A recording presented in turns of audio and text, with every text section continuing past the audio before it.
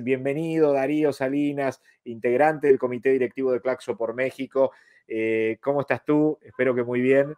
Eh, y con ansiedad de escuchar tu análisis, porque realmente la presidencia pro tempore eh, de la CELAC por parte de México ha puesto a la CELAC en un lugar diferente, digo, en un proceso de integración regional, pero sobre todo de importancia concreta, de eh, movilización concreta y colaboración hacia la sociedad. Digo, el tema de las vacunas es, muy concreto, digo, no, no, no es una declaración nada más, pero el posicionamiento político fue muy fuerte. Tu análisis, Darío, bienvenido nuevamente. Muchas gracias. Eh, lamento no haber podido escuchar integralmente las tres intervenciones anteriores, algo, pero algo recupero. Yo, para responder a la pregunta de manera directa, yo creo que el punto en el que se encuentra actualmente la presidencia pro tempore de CELAC eh, es un punto que refleja el trabajo cuidadoso, eh, casi de filigrana, de retejer nuevamente eh, los puentes y colocar la agenda latinoamericana en primer orden, en el primer orden de nuestras preocupaciones. Yo creo que ese es el punto en que nos encontramos. Pero más allá de la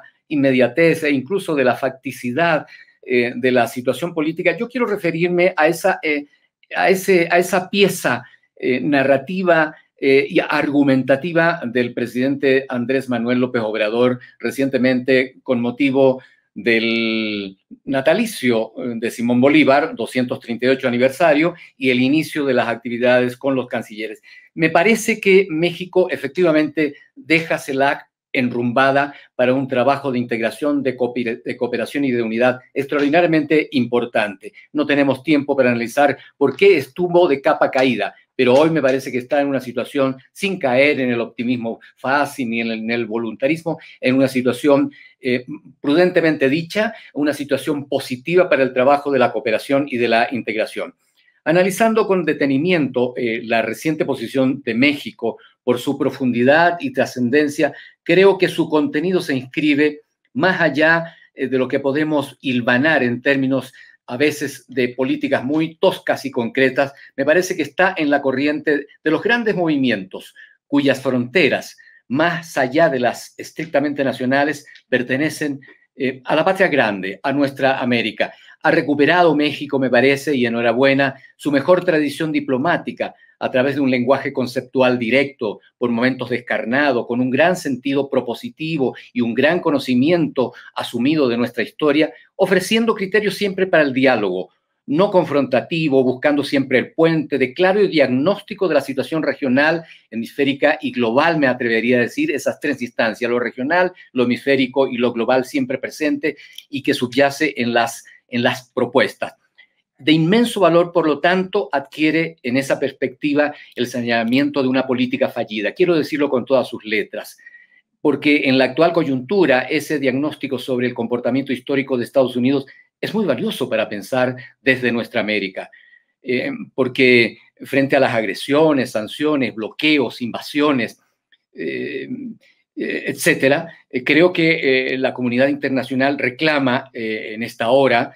de exacerbación de la pandemia, de problemas tan agudos como los temas migratorios, remesas, etcétera, una política de cooperación y una conducta que está a la espera de su ratificación a través de acciones concretas en favor del desarrollo integral para todos nuestros pueblos, más todavía en estos tiempos. Me parece que eso hay que señalarlo como una pincelada sobre el momento en que nos encontramos frente a esta herencia que está dejando México de su presidencia pro tempore hacia Argentina, probablemente porque ya cuenta con un consenso activo muy importante dentro de la CELAC.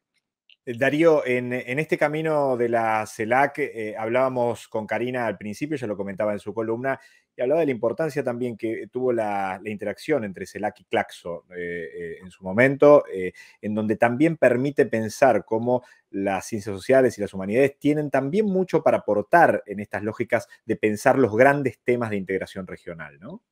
Yo creo que fue un gran acierto por parte de la directiva de Claxo de, de buscar este puente y establecer eh, un convenio de cooperación con CELAC, porque no solamente para este periodo eh, de por sí ya muy importante por las aportaciones que, que Claxo pudo hacer a través de sus doscientos y tantos análisis sobre la situación regional en el marco de la pandemia, más los trazos de cooperación hacia futuro y pensando sobre todo en que la presidencia pro tempora estará en el, en, el Río de la Plata. Yo creo que es importante este paso, es importante mirar hacia adelante y los elementos que nos deja esta experiencia frente a los desafíos de América Latina, trazos para un eventual porvenir de cooperación y, ojo, subrayo, un mejor entendimiento con Washington, porque el paradigma impuesto desde hace más de dos siglos está agotado. No tiene futuro esa política del norte hacia nuestras regiones. No favorece nada, solo trae dolor, solo trae inercias inservibles y riesgo para el frágil equilibrio hemisférico. De manera que yo valoro globalmente muy acertado este acuerdo porque podemos seguir desde el pensamiento crítico construyendo mecanismos comprensivos hacia la cooperación. Y México me parece que debe ser estudiado e incorporado a partir de esta eh, propuesta eh, como una referencia fundamental en nuestras investigaciones sobre América Latina y el Caribe, sobre los procesos políticos actuales y particularmente sobre los desafíos en, el, área, en, el área de la integración y la unidad regional. Me parece que su formulación favorece la, unidad. Hay elementos concretos para seguir trabajando. En este punto se destaca, me parece, la propuesta de construir, pensar y proponer eh, mecanismos multilaterales genuinamente autónomos, más allá de la inoperante y fracasada Organización de Estados Americanos, particularmente bajo su dirección actual. Esto es de extraordinaria importancia en consonancia con los grandes ideales emancipadores de nuestra región. Darío pensaba y hablábamos, la palabra encrucijada salía en los principios de eh, la charla cuando arrancábamos el Infoclaxo, digo, hablar en el momento de encrucijadas pensar que los países pueden eh, salvarse solos, digo, que pueden avanzar, eh, sobre todo contra corporaciones tan, eh, tan gigantescas como es el caso, por ejemplo, de las corporaciones farmacéuticas, ¿no? Al momento de la negociación de las vacunas. Pero también podemos pensar en las temáticas medioambientales y, por ejemplo, la llegada de empresas a diferentes lugares, digo. La, pelea individual, el trabajo individual de, de un país con alguna de esas corporaciones casi parece eh, una, lucha desigual. Pensando en la unidad regional, digo, ahí es como en muchos ejes temáticos, ¿no? Para pensar en donde puede ser una colaboración bien directa y puede ser muy funcional y efectivo al momento de luchar contra las lógicas de, bueno, algunas corporaciones que en la negociación uno a uno parecen siempre salir ganando. Están las premisas para eh, ver desde el punto de vista de la cooperación y, de, eh, y sobre todo en función de aquello que nos une, más allá de las diferencias y diversidades en el plano político e ideológico. Y yo creo que la pandemia ha abierto, como se ha dicho en muchas investigaciones, una ventana inmensa para, una, para revalorar los grandes problemas no resueltos. En primer lugar, la mercantilización en el proceso de producción, patentes y sobre todo distribución de esta vacuna absolutamente indispensable, que no hace milagro, pero que sí contrarresta el, desarrollo expansivo de esta, de esta pandemia en un contexto de crisis sanitaria. De manera que yo creo que con estos instrumentos de cooperación y, trazos efectivos para buscar aquello que nos une, aunque tengamos en medio de la gran diversidad un solo punto en común, me parece que eso es extraordinariamente importante para fortalecer la unidad latinoamericana, que no es una cosa discursiva, meramente narrativa, sino unidad alrededor de los grandes desafíos que hoy día se están eh, planteando de una manera muy desnuda, muy descarnada, a propósito de la expansión y profundización de esta pandemia que parece no tocar su fin.